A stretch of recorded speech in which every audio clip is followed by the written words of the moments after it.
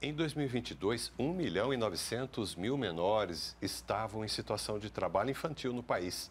O dado faz parte da Pesquisa Nacional por Amostra de Domicílios, a PNAD contínua, divulgada hoje pelo IBGE. O número representa um aumento de 16% em relação ao ano anterior, quando 1 milhão e 600 mil menores de idade foram encontrados na mesma situação. O trabalho infantil é considerado crime no Brasil. A legislação abre exceção para jornadas sem periculosidade de meio período entre os 16 e 18 anos de idade.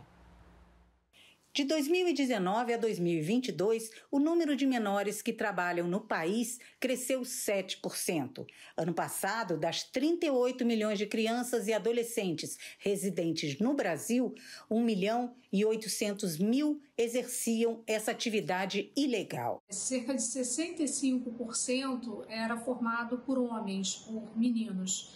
É, e também é, a maioria era formada por pessoas de cor preta e parda, com aproximadamente 66% desse contingente. As estatísticas mostram uma queda no número de casos entre 2016 e 2019, mas o índice voltou a subir nos anos seguintes. Segundo o IBGE, essa alta, em parte, foi causada pela pandemia de Covid-19, que reduziu a renda familiar e os filhos das faixas mais vulneráveis tiveram que ajudar no sustento da casa. Para a definição de trabalho infantil, né?